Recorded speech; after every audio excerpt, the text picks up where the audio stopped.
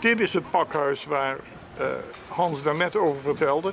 Het monument uh, aan de Bakenessergracht. En die is gebouwd in 1692. Dolf, nummer 40 is natuurlijk ook een heel leuk pand.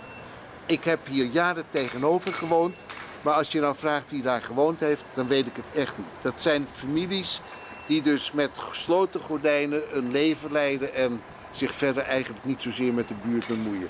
Ik heb geen idee wat voor mensen dat geweest zijn.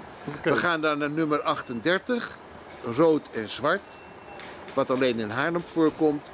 Dit is een groot pand en hier onderop heeft rond de 50 jaren en nog jaren daarna een wikkelbedrijf gezeten. En een wikkelbedrijf is waar dus uh, elektromotoren opnieuw gewikkeld worden, voorzien van een koperdraad, waardoor dat beter gaat functioneren. Dat was de firma thuis.